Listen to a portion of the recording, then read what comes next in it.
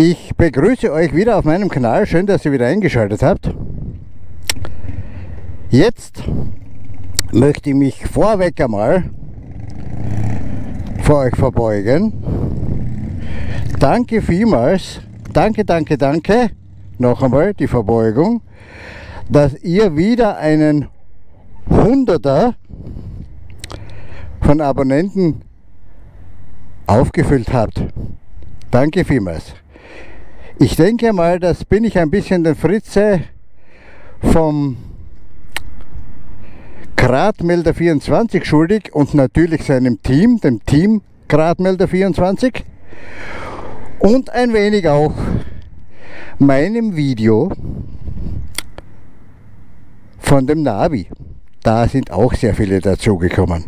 Aber um was es heute geht, das erfahrt ihr wie immer nach dem Intro. Bis später.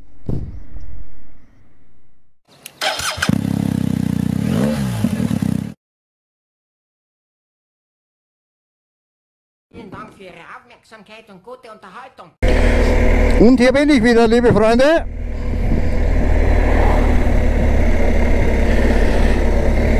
Um was geht es heute? Natürlich um das Navi, um das Fazit nach der Tour, was ich euch versprochen habe. Ja, wo fangen wir am besten an? Also auf dieser Tour habe ich einmal geflucht, wirklich arg. Da kann sein, dass ich bei den Videos von der Anfahrt zum Treffen, dass ich da Musik einspielen werde, denn das will keiner hören.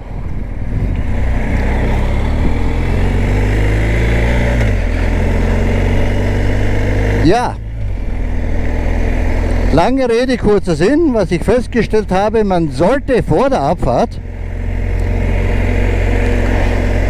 dieses Navi mit der Cloud ganz kurz verbinden, um das, wie gesagt, das tägliche Update oder die tägliche Synchronisation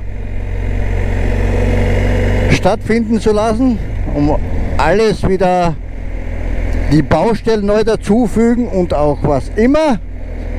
Dann ist man, wenn man das vor der Abfahrt macht, auf dem Laufenden. Wer kein WLAN im Quartier hat oder zur Verfügung in der Gegend, dem würde ich empfehlen, so wie ich. Ich habe auf dem Handy, das ist in der, im Tankrucksack, mit dem Navi ein Hotspot eingerichtet, einen WLAN-Hotspot. Das heißt, wenn ihr jetzt unterwegs seid und ihr wollt jetzt unbedingt noch einmal up-to-date sein, Baustellen sperren und so weiter, könnt ihr unterwegs das vom Handy aus machen. Ich gehe davon aus, dass jeder bei seinem Vertrag so viel Gigabyte frei hat, dass das kein Problem ist. Das ist das, was ich sagen wollte. Ja, warum habe ich geflucht? Kommen wir mal zu denen.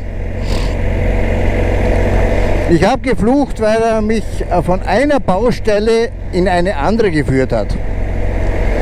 Ich bin vor einer Straßen-Totalsperre gestanden von der Straße.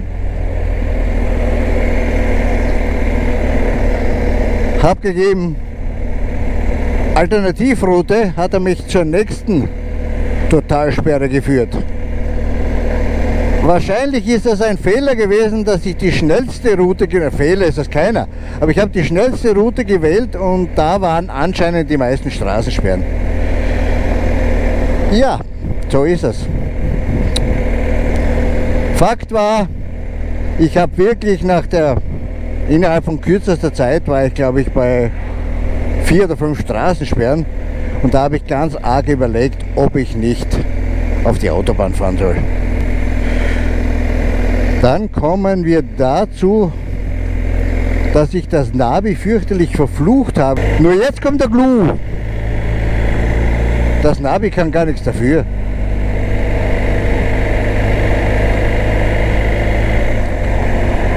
Ich, kleines Stupidino, was angeblich italienisch Koffer heißt, habe natürlich ganz wichtig voller Aufregung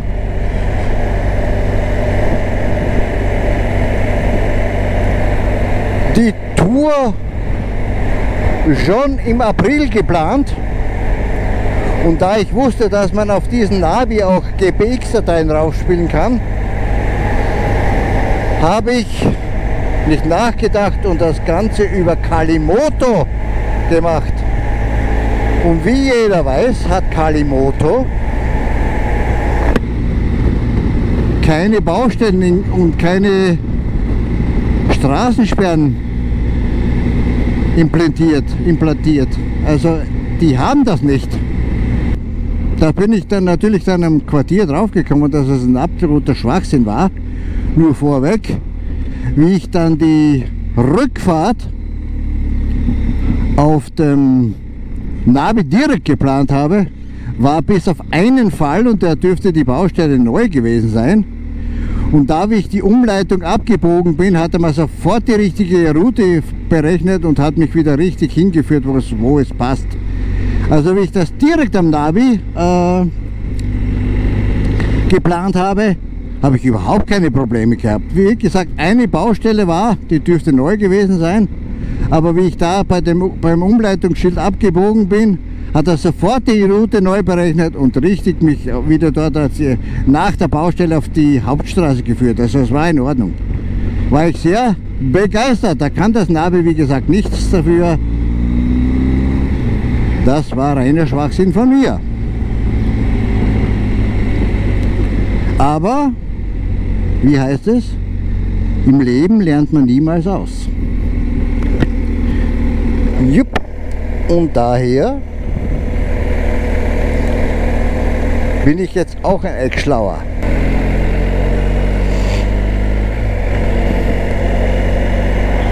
dann muss ich noch vorweg sagen, am 7. August werde ich operiert und ich hoffe, dass das mit meinem Hals dann besser wird, also das Gekrächze aufhört bei mir. Laut Arzt ja.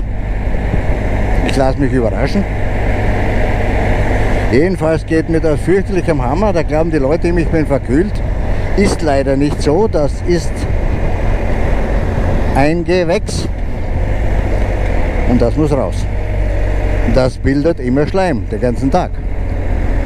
Naja, reden wir von was Besseres und zwar vom Navi. Gut, wie zufrieden war ich damit? Ja, wie ich festgestellt habe, dass der Fehler bei mir lag, dass das Navi da nichts dafür kann, traumhaft, muss ich ehrlich sagen. Einmal der einzige Grund oder über, der einzige ist nicht wahr, der Hauptgrund, das will ich sagen, um das Navi sich zuzulegen als BMW-Fahrer, Achtung, als BMW-Fahrer, ist, dass man es mit dem Steuerrad, mit dem da bedienen kann. Das heißt, ich brauche nicht bei, wie bei anderen Navis, wenn ein Wegpunkt herauszunehmen ist oder sonstige Einstellungen zu machen sind, stehen bleiben und das mit den Fingern am Display machen, sondern, wie ihr seht, geht das locker mit dem Drehrad. Dann hat es auf der links unten kann man mehrere Sachen einstellen. Ich habe genommen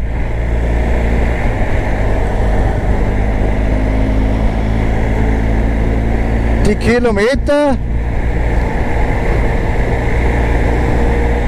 zum Zwischenziel und die Ankunftszeit zum Zwischenziel. Das gleiche habe ich auch genommen beim Endziel. Also wo man eigentlich überhaupt hin will.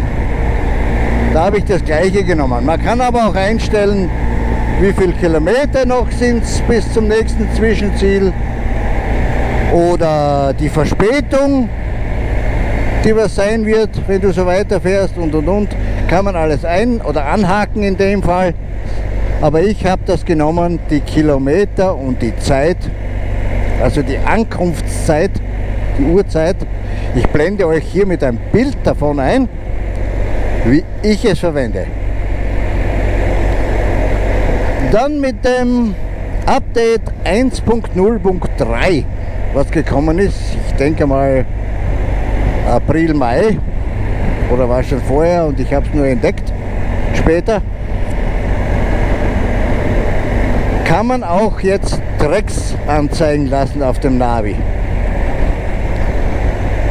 Dann muss man rechts oben beim, bei der Planung oder wenn man eine Tour geplant hat, kommen drei Punkte vorm Start.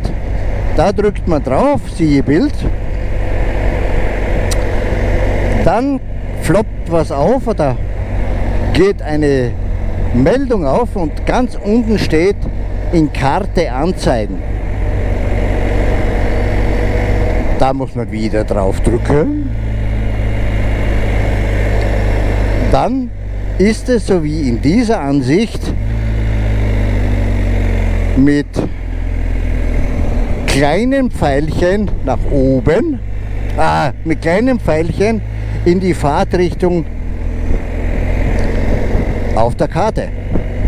Dann hat man den Track vor sich. Natürlich kann man Track und Route kombinieren. Das lässt dazu. Der Track hat eine Farbe von Haus aus eingestellt weiß. Man kann diese Farbe aber auch, wie ihr seht, eine andere Farbe nehmen. Man kann sie auswählen, was man will. Die Route wird ja in Blau angezeichnet. Ich habe es durchprobiert und mir gefällt Gelb sehr gut. Das ist nicht so aufdringlich wie Weiß und das ist okay. Abgesehen davon, dass ich kein Trackfahrer bin, ich fahre lieber mit Route. Dann wird geschimpft bei diesen Navi über die POIs, dass zu wenig sind und schlecht und da sind fast keine angeführt. Das ist nicht gut, könnte sein, betrifft mich aber nicht in dem Fall. Ich fahre nicht mit POIs, das interessiert mich nicht. Wir sind hier in Mitteleuropa mit so einem guten Tanknetz ausgestattet, dass alle Augenblicke irgendwo eine Tankstelle kommt. Meine Xena sagt zwischen 80 und 90 Kilometer demnächst eine Tankstelle anfahren. Und da brauche ich keine Angst haben, die kommt zwischen 80 und 90 Kilometer. Also das müsste mit dem Teufel zugehen. Okay, der schläft nicht, aber trotzdem, dass ich trocken stehen bleibe. Natürlich sind bei, bei den POIs auch Bankomaten, Cafés, Restaurants, Hotels. Betrifft mich auch nicht.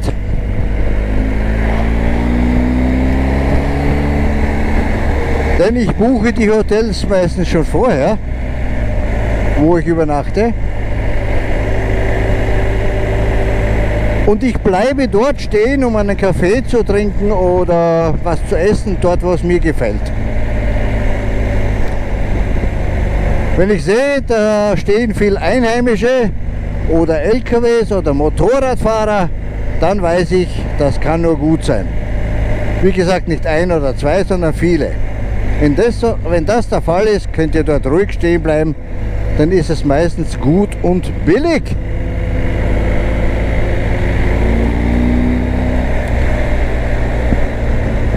Aber das muss jeder selbst entscheiden, wenn einer sagt, nee, ich will unterwegs, will das planen, wo ich stehen bleibe, dann soll er es versuchen mit den wenigen POIs, was vorhanden sind. Meine Sache ist das ehrlich gesagt nicht. habe ich vergessen bei den Tracks, der wird gespeichert. Das heißt, es entsteht eine Liste, die blende ich jetzt auch ein, wie das aussieht. Dann kann man mehrere Tracks hintereinander, sind da abgespeichert und die kann man wieder verwenden. Lange Rede, kurzer Sinn. Würde ich das Navi wieder kaufen?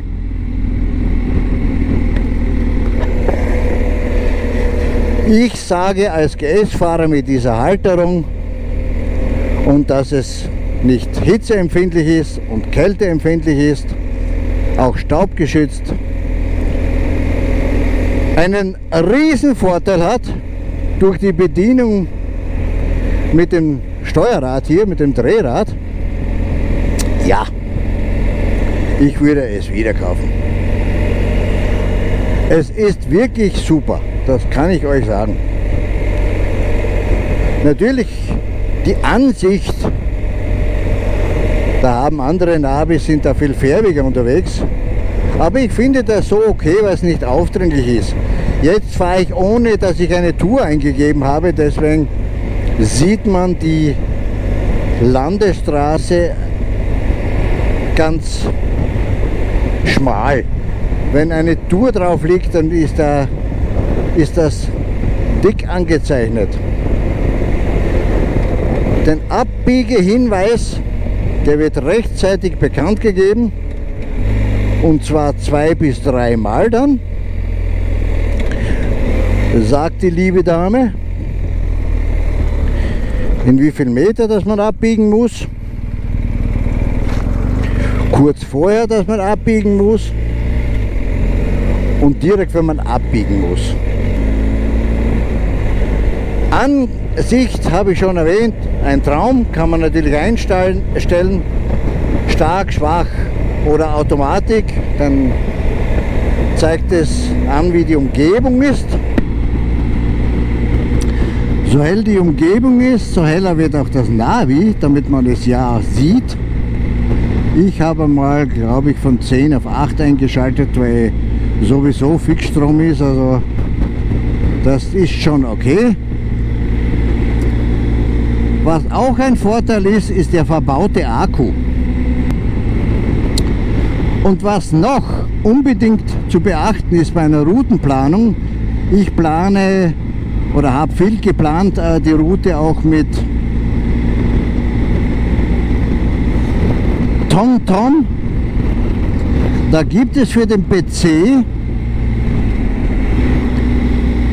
das war glaube ich früher mein MyDrive, da gibt es für den PC einen Link, den gebe ich auch in, den, in die Anmerkungen. Schaut ihn euch an. Wenn er euch gefällt, könnt ihr ihn runterladen, da könnt ihr die Route planen. Früher konnte man es, wenn man gegangen ist auf Synchronisieren, wurde es auch bei TomTom ähm,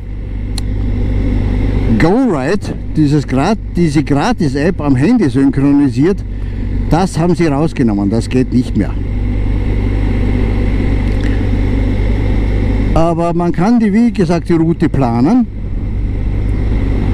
die GBX-Datei exportieren, auch hier ist ein Track hinten angeführt, oder dabei, sagen wir so, die Route planen, die GBX-Datei versenden aufs Handy. Ich mache es derzeit so, nur dass ihr wisst, wie das mein System ist.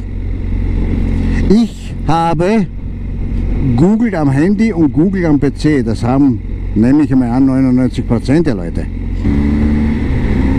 Ich speichere das, die GBX-Datei, auf Google Drive ab, am PC lade es am Handy mit, von Google Drive herunter und öffne die Datei mit der Connect, BMW Connected App. Damit kann ich aussuchen, mit wie vielen Wegpunkten ich fahren will oder welch, wie viele Wegpunkte das abspeichern will und hab's in der Cloud. Und wenn du es einmal in der Cloud hast, und das Navi mit WLAN oder mit dem Hotspot verbindest, hast du es automatisch auch am Navi. Also, So gehe ich voran.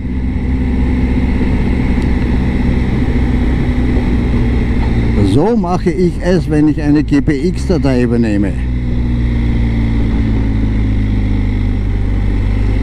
TomTom, kurviger.de und Kalimoto haben auch den Track dabei. Ich habe es mir auch angeschaut, wie ich den Track und die Route zugleich genommen habe. Bei zwei, drei Stellen ist die Route abgewichen vom Track. Da sieht man dann sehr gut, da würde der Track verlaufen, da ist die Route. Blau und Gelb schön getrennt. Aber naja, so ist es eben. Ja, wie gesagt, der Navigator ist, ich finde ihn wirklich gut. Ich, zumindest, bitte, ich rede von mir, von meinen Ansprüchen. Diese Touren, die ich fahre oder diese Ausflüge, da reicht ja mehr als aus. Dann ist, hat er noch eines, wenn ich jetzt äh, eine GPX-Datei, zum Beispiel eine Hausnummer von Kalimoto runterlade und ich habe hier, hier habe ich eingegeben, unbefestigte Straßen soll er ausnehmen. Also die möchte ich nicht fahren. Nachdem Kalimoto teilweise das nicht hat mit unbefestigten Straßen, zeigte man sofort an, Achtung, das kann nicht berücksichtigt werden. Also wenn irgendwas nicht übereinstimmt mit seinem System, denn jedes Navi hat seinen eigenen Algorithmus, wenn irgendwas nicht übereinstimmt mit seinem System, macht er sofort eine Art Warnmeldung. Das ist auch in Ordnung, finde ich. Was eine wahre Katastrophe ist bei diesem Navi, da oben die Maximalgeschwindigkeit, was man fahren darf.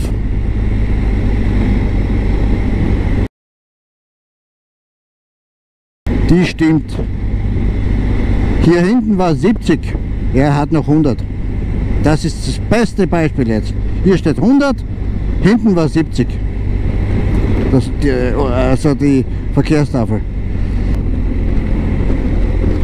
Also da müsst ihr Minimum zwei bis drei Updates im Jahr bringen, was das richtig stellt. Also Freunde, wie ich schon einmal erwähnt habe in einem Video, verlasst euch ja nie auf diese Geschwindigkeitsbeschränkung von BMW, denn beim TFT ist das gleiche in grün. Die stimmt auch oft nicht. Also verlasst euch ja nicht auf das oder schaut auf die Tafeln, ihr, seid, ihr müsst sowieso ihr müsst sowieso äh, im Verkehr voll konzentriert sein. Also schaut doch die paar Geschwindigkeitsbeschränkungstafeln auch an und hält euch dran. Es ist euer Geld und eure Sicherheit. Also das könnt ihr vergessen. Macht das so, schaut auf die Schilder und damit ist das Wasser fertig. Gut, dann kommen wir endlich zum Schluss. Noch einmal bin ich zufrieden damit? Ja, großteils ja. Der Preis stört mich aus dem Grund nicht mehr, weil ich es ja schon habe, weil ich schon gekauft habe. Aber es wäre gut. Sie sind eh schon, ich glaube 626 habe ich jetzt vor kurzem gelesen, war bei Amazon. Müsste ich jetzt lügen, aber ich glaube. Jo, dann sage ich herzlichen Dank fürs Schauen. Schön, dass ihr wieder da wart. Danke. Baba. Das wäre super. Ich wünsche euch was. Bleibt sauber, immer oben. Gesund, kommt immer gut nach Hause. Bis zum nächsten Mal. Ciao, Baba. Servus.